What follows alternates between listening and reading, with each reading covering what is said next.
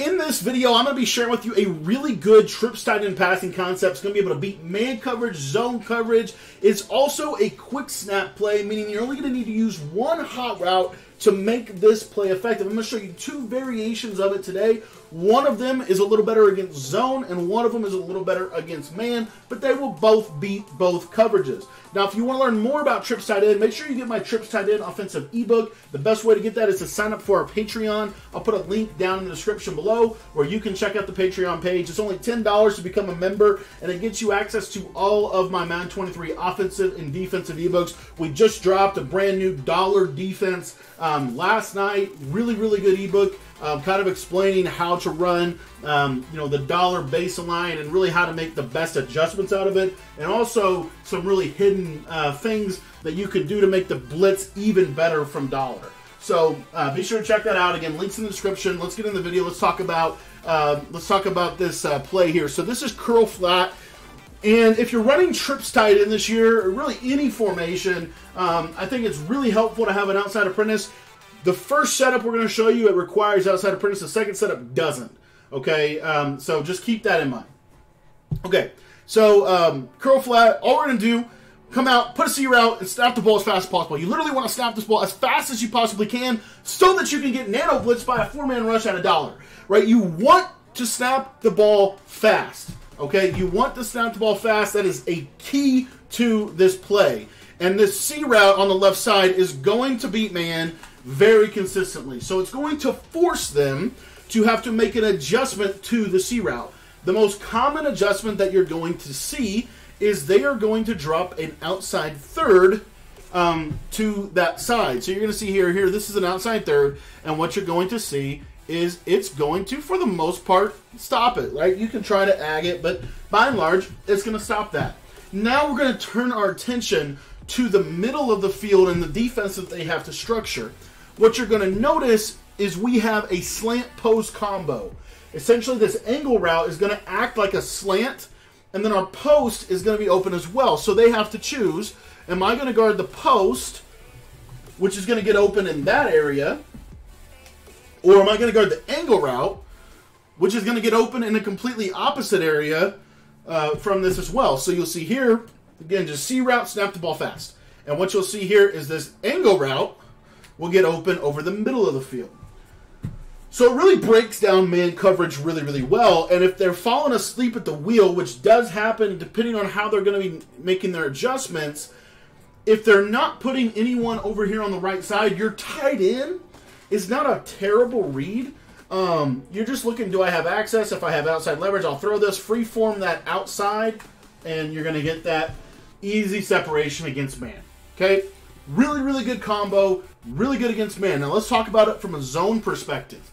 The biggest thing with zone is your C route's not going to be the greatest read in the world. Um, but you can actually throw this flat route with a pass lead up. I'm not freeforming it. I just simply classic pass it and, and lead it upfield if they're not playing hard flats. So if they're not playing hard flats, I can look out here to the flat and say, oh, I've got a quick read. I can take that. So as I'm looking at the C route at the snap of the ball, I'm also looking at that flat route, and this creates a nice little key uh, quick reads. Um, it creates for us some quick reads. So you see here, I'm going to look out here to the left side. Can I throw it? Oh, he goes. You can try to cut that off against a third. I will say it's not the best, uh, but you can mess around with that if you want to. Um, I do think it's a little bit like playing with fire. But if they're in a cover two, let's say they're in a cover two because they're really trying to stop your flat game for whatever reason, this C route you'll see right here, it can kill the cover two. So it's really good against cover two. So it's going to funnel them into specific coverages that we're going to beat with our second setup here in just a second. So it's going to funnel them into a cover three on the trip side, and really a cover three in general. Um, but what you'll see here is if they're in cover two, this is a really good cover two beating route. If I could throw it properly, he's wide open. I'm not going to rethrow it. He's wide open. You can see it. Okay. So this funnels them into cover three with hard flats. This is the defense they basically have to play.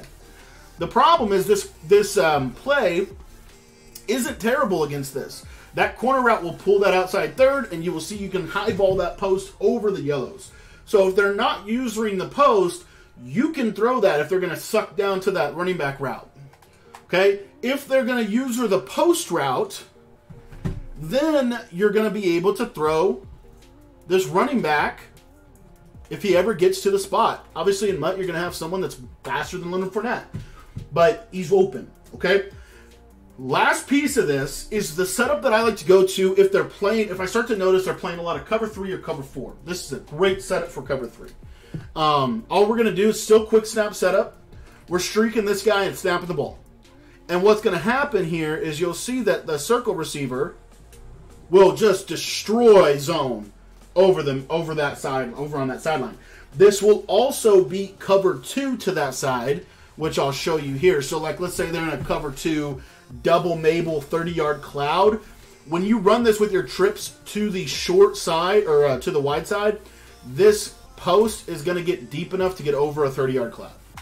So you are able to really beat um, any kind of zone on that side. The one zone that I think can give this some trouble is a cover four hard flat. But we'll show you this real quick here. So this is cover four hard flat. If you watch, you're going to notice if it's a press quarter, you can kind of get the ball over him, but it's not quite there. It's not it's not a one to one. But there is a window to throw this against cover four hard flat, which I'm about to show you. So if it's a baseline press and they're running cover four hard flat on you, what you want to do is you're going to throw this ball right there. Um, and again, you know, you get get it a little bit better accuracy from good old Brady there. Um, but you see, it's wide open, and and I'll show you again. As soon as the DB, as soon as the safety kind of turns and runs, we're gonna throw that right there. And again, I don't know why he's not turning and running with that with that streak. Um, I guess the Denver Broncos defense is psychic here in practice mode, but we'll show it to you here. It, a lot of it has to do with the fact that Cameron Brate is so slow. Um, but what you'll see right there, and you cut it off, and we show you in the Patreon. We actually have a video that teaches you an ability that will make catching ten times better on every player on your field. Um, super, super good ability this year, especially with the way the AP is going on offense. And then you also have this curl route. This curl route really needs you to pay attention to this piece. Um, one of the most common adjustments that people are going to make is they're going to put this defender into a third. It's like extremely common. They're going to put that defender on the left side into a third. You can throw this um, this curl right here. The other thing you could do is let's say that that third plays out of its mind as you're seeing it do uh, right here. Like let's say let's just say you know what this this this third he plays out of his mind to stop this this curl, which he should never stop a curl with. But anyways, you'll see here that this angle route is still open over the middle of the field if we can catch it. He's still running over here over on the middle of the field. So if they're if they're running like a true cover three press, you know, kind of like something like this, um, if you watch here, this running back can be a really powerful route for you. Uh, you'll see right in there. See how he gets. Now, I will say if they if they are just putting the third and man, the curl's not as good. But if they're running like a baseline press, you know, this is kind of standard dollar stuff. Then what you'll see here is this third. Eh, we can actually bomb that press third, but you, you'll see that, that that curl can be there for you. So, just something to kind of keep in mind with your with your offense. If they're if they're running press thirds on there, um, the curl route is at least worth a look. Sometimes it won't be there for you, but if you freeform it down, it's pretty effective against that. Now, if they're in a if they're in that cover four defense that I was talking about a second ago, where they're base aligning and they're pressing and they're running cover four, this uh, curl should be pretty good for you. You'll see right here. Boom. Okay, so you just freeform it down and inside, and it's pretty decent against hard flats. So that is curl flat. You have the ability to literally beat every coverage in the game.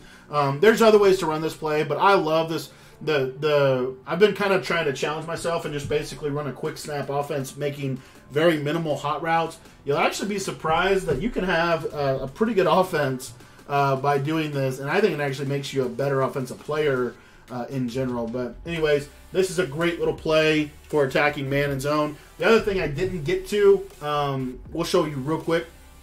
Let's say you're playing DB Fire you know, so they do something like this. Now they have to make a decision.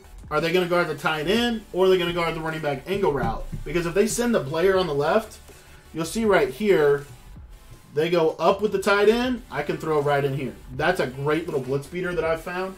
Very effective for the dollar meta. Any kind of zone blitz, that angle route is really good for. Okay. Thanks for watching the video. If you want to get the full Patreon or the, the full Trips ebook, get in the Patreon. It's only 10 bucks to sign up. The link to sign up is down in the description and uh, would really encourage you to check that out. You get everything. You get everything by being a member. All the ebooks, all the updates, all the pro tips, everything for 10 bucks. Link is in the description if you want to go check it out. Thanks for watching, and uh, we'll see you guys later today.